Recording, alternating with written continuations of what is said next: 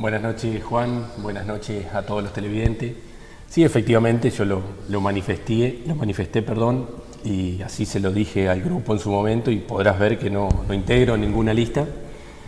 Eh, pero sí, desde un primer momento le dije que cuenten conmigo para lo que necesiten, que yo iba a estar, eh, que si me necesitaban para trabajar yo los iba a acompañar, pero que no, no quería integrar ni, ninguna lista.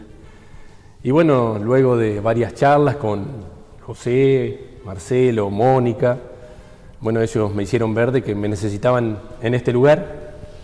Eh, y bueno, lo estuve pensando, eh, analizando, y bueno, nosotros siempre le estamos reclamando a la gente que se involucre, que es necesaria una participación activa en los destinos de la ciudad. Y bueno, entonces decidí aceptar este desafío. Bien. Sí, sí, es un cargo que lleva su responsabilidad, por eso te digo, es un gran desafío. Eh, pero bueno, creo que estoy con la capacidad suficiente como para afrontar ese rol y así me lo hicieron ver también y me, dio la, la, confianza José, Marcelo y Mónica.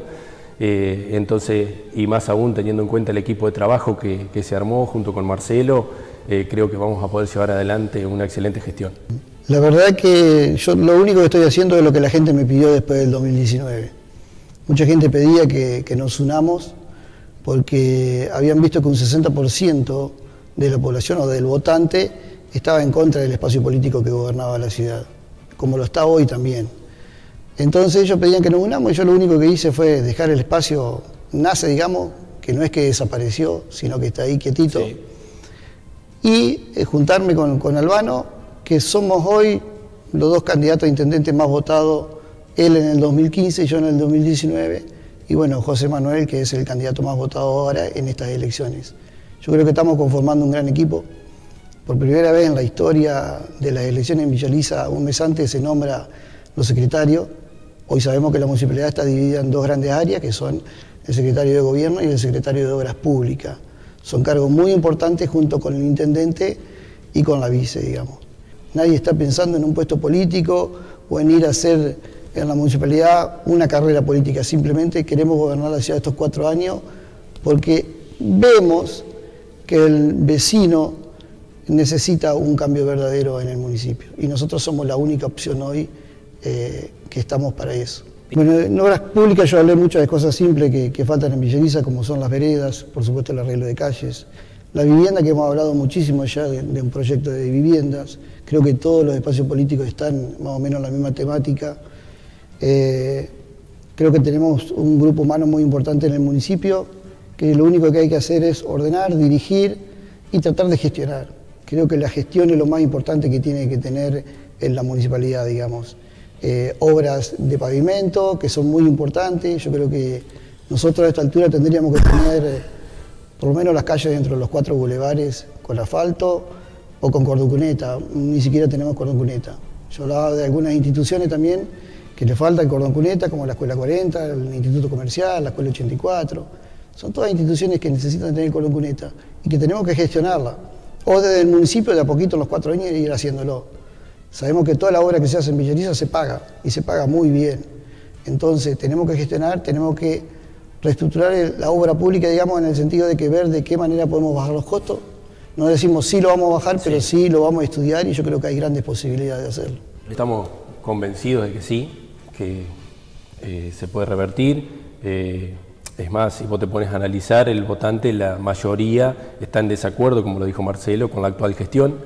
Y nosotros fuimos la segunda fuerza, eh, somos los más votados de la oposición y creemos que estamos en condiciones de canalizar y convencer a esos votantes que nos dé la, la oportunidad. Hubo 1.400 votos en blanco, mucha gente que no fue a votar. Y bueno, el mensaje es para ellos que concurran a votar el día de la elección, el 22 de octubre, que tienen la oportunidad de expresarse a través del voto, ¿no es cierto? Y es necesario que vayan a votar y que nos den ese voto de confianza que necesitamos para hacer gobierno y lograr el cambio que realmente necesita la ciudad. El vecino hoy nos está pidiendo transparencia y honestidad en la administración de los recursos municipales y nosotros somos esa opción. Eh, cuando yo hablo con los vecinos, los vecinos digamos, hacen una queja generalizada y se refieren a cuestiones puntuales y, visibles, como que algún empleado no trabaja y yo siempre les explico, eh, eso es lo de menos. Eh, lo que no se ve es lo peor.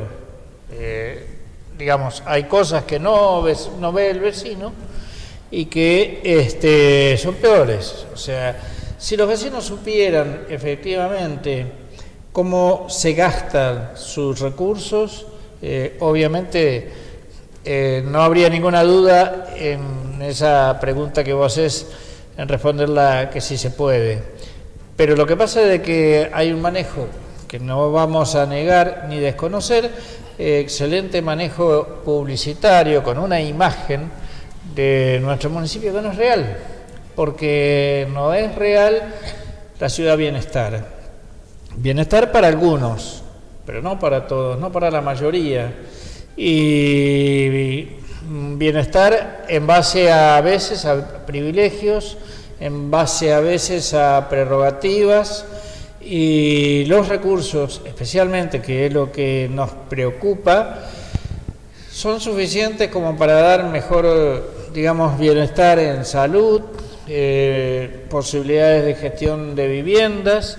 No vamos a garantizar que en los, primeros seis meses vamos a hacer todo lo que proponemos. Porque precisamente, como decía Marcelo, que hablaba de ordenar y organizar, eso, eso solo nos va a costar, pero el vecino no sabe justamente cuál es o cuánto hay de esa desorganización. Eh, yo creo que el ciudadano de Villaliza tiene que entender que tiene que votar a intendente. Hubo mucho voto que en blanco hay intendente, no voto en blanco y sí, sí hay intendente que no votaron. Claro. o sea, sabemos que hoy nosotros tenemos una boleta corta que se votó a gobernador y a, presidente, pero no a intendente. Y yo creo que acá está en juego mucho, muchísimo. Estos días hablamos, hablamos de hechos eh, terribles que pasan en la municipalidad, como son hechos de corrupción. Y sabemos que eh, a nivel nacional y a nivel provincial eh, muchas veces pasan estos temas y nosotros acá nos horrorizamos y nos quejamos y hoy está pasando en Villariza. Creo que lo que está pasando con el secretario de Obras Públicas, con la compra a su comercio familiar es muy grave. Eh, al igual que el secretario de, gobierno que acomoda a su, mujer en, un puesto político, digamos, o, en un cargo, eh, eso también es grave. Yo creo que no tenemos que normalizar estas cosas y que tenemos que hacerlas ver hay mucha gente que no se entera de estas cosas porque uno habla o no mira en televisión o no mira en radio, no escucha en radio, perdón, y no se enteran. Tenemos que decirlo de una vez por todas. Estamos en nuestra ciudad, a mí me gusta pagar los impuestos, en mi local comercial, en mi casa, yo pago todos mis impuestos al día y quiero que esos impuestos sean bien ocupados, digamos, en el buen sentido. Y yo creo que lo que está pasando hoy es muy grave. Creo que desde el Consejo Albano lo ha planteado, es una lástima que el resto de los concejales del oficialismo eh, apoyen esto, porque yo creo que es un hecho grave. Ojalá y después, eh, seguramente de las elecciones, se haga una denuncia, porque esto no tiene que quedar así. Y hoy nosotros lo que le veníamos a proponer es esto, es honestidad y transparencia, y gestión y trabajo. Ninguno. Yo creo que este es el momento de que la gente piense, haga un voto racional y vea que hay gente capacitada para gobernar la ciudad y que están en el espacio unido por Villariza. En el caso de asumir, haríamos un redimensionamiento de áreas que tal vez no, no, cumplen o no necesitan el presupuesto que tienen y entonces a partir de ahí esos recursos afectarlos a otros. O sea, eh, hay una cuestión, digamos, puntual.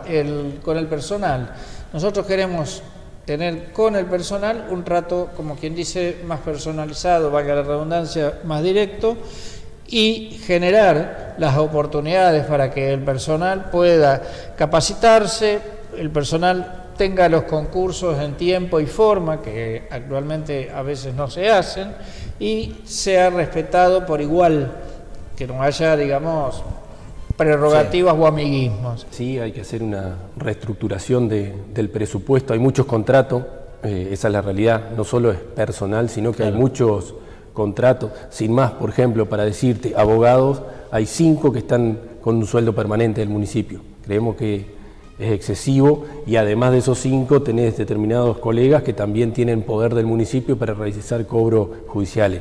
Entendemos que bueno, ese es un gasto excesivo para, el municipio y la gente no lo sabe. Eh, otros municipios tienen su área legal y técnica y funcionan con uno o dos abogados y acá tenemos cinco con sueldos permanentes más otros que tienen un poder eh, para realizar cobros. O sea, es necesario hacer una reestructuración del presupuesto, sincerar también el presupuesto, porque a su vez, dentro de las partidas que vos tenés asignadas en cada una de las áreas, ahí dentro también hay personal. Justamente en la sesión pasada ingresó una ampliación del presupuesto que se eleva a más de 2.700 millones de pesos. Eh, y bueno, está pendiente también que le pidamos a la contadora que nos envíe, porque a nosotros sí nos manda en una columna aparte cuánto realmente es personal, porque dentro de cada una de las áreas, en acción social, en deporte y demás, ahí también está incluido personal. No es solo el ítem personal lo que se gasta en personal. Y creemos que es necesario una, una reestructuración. O sea, aquellos contratos que sea necesario mantener, se los mantendrá, pero otros que vemos que simplemente eh, por amiguismos o por determinadas cuestiones están en el municipio, lamentablemente los tenemos que cortar. Y esto no es en contra del empleado, estamos hablando de esos contratos tercerizados que incluso es gente que no aporta a la caja de jubilaciones, otro problema que vamos a tener que solucionar, que también el directorio de la caja nos ha planteado en reiteradas oportunidades, la cantidad de gente contratada tercerizando esos servicios que le facturan al municipio como monotributista, cuando en realidad la tarea que realiza sería de un empleado y eso está privando la caja de aportes. Es necesaria una reorganización, ¿no es cierto? Eh, pero respecto de los empleados, como decía José Manuel... Después el número de empleados de eh, planta permanente es, un número acorde, ¿no? Sí, sí, sí. Es necesario reorganizar a los empleados. Lo que pasa es que la gente ve mucha gente eh, por ahí en, la oficina, en la calle, y no sabe que muchos son contratados, que no son empleados del municipio, o que integran parte de la cooperativa, que no son empleados. Y eso, esa gente, por ejemplo, de la cooperativa no aporta a la caja de jubilaciones.